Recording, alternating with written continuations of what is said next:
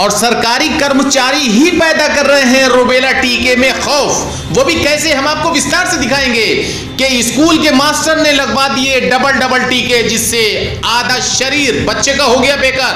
हम आपको पूरा नजरा विस्तार से दिखाएँगे मामला थाना गोदवाली क्षेत्र के जनता इंटर कॉलेज का। जो छात्र पढ़ता था, उसको मास्टर ने ज़बरदस्ती डबल टीका लगवा दिया। रुबेला का एक टीका लग चुका था, दूसरा और लगवाया। और हम आपको विस्तार से सुबोध के साथ दिखाएँगे। बाखूबी, आप देख रहे हैं बच्चे को। और आपको हम पूरी कहानी सुनवाते हैं बच्चे की जुबानी, कि बच्चे ने कहा टीका लग गया, लेकिन फिर मास्टर ने क्या कहा?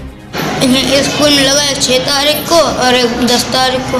दो बार लगा? जी। तो आपने बताया नहीं था हमारे टीका लग चुका है? स्कूल में हमने एक बार बताया सर को सर ने कहा तुम्हारा निशान मिट गया निशान मिट गया फिर लिए गए थे। तो कौन सर थे? क्या नाम था उनका? एक रा, रामपाल सर थे और वो जो टीका लगा रहे वो थे। चौथे में पढ़ते हो आप। सेवन्थ में।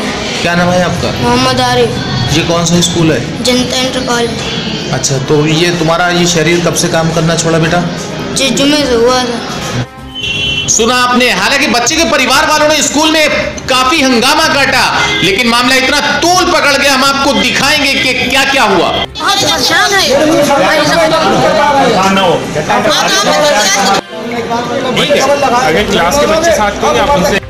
हालाँकि खबर को सुनकर आनंद फानन डिप्टी सीएमओ मौके पर पहुँचे और पहुँचने के बाद क्या करा?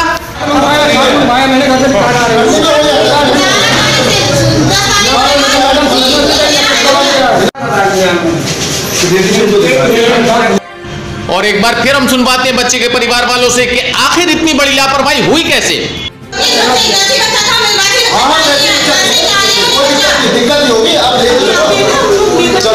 इंजेक्शन लग चुका है पहले तो उसका प्रमाण नहीं देखा गया और उसके इंजेक्शन दोबारा लगा दिया कहाँ लगाया गया? यहाँ स्कूल में कौन सा जनता इंटर कॉलेज में अब बच्चे की हालत कैसी है? बच्चे की हालत यह है बच्चे की टांग पैरों से बेकार हो गया है बिल्कुल खड़ा नहीं हो पा रहा।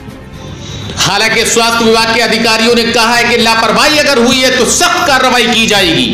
कार्रवाई की जाए आगे कार्रवाई यही कि को चेकअप करा के उसका डिटेल एग्जामिनेशन कराएँगे वो जाँच कराएँगे उसके बाद जो भी उचित कार्रवाई उचित वो होगी इलाज इलाज होगा वो सब मिलेगा इसको ठीक परिवार कह रहा है और दो बार टीके लगे नहीं नहीं परिवार कह रहा है लेकिन हमारे पास कार्ड भी है ठीक है?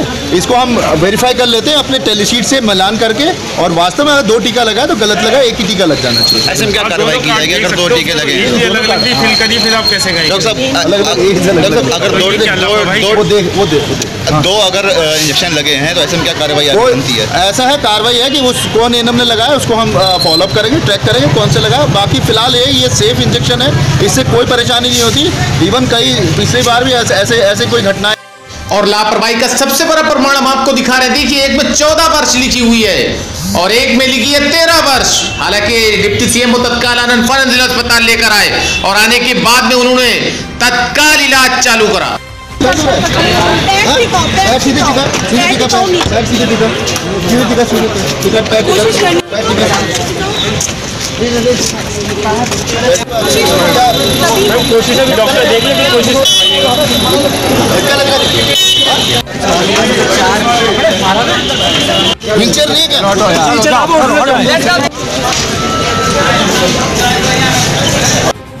हालाँकि आनंद फानन बच्चों को वीआईपी वार्ड में भर्ती कराया गया और भर्ती कराने के बाद में डॉक्टर की टीम इलाज के लिए तत्काल पहुँच गई। इलाज चालू हो गया, लेकिन आपको बता दें कि इतनी बड़ी लापरवाही का देखना यह है कि जिला प्रशासन टीचर के खिलाफ क्या कदम उठाएगा, ये देखने का विषय हो।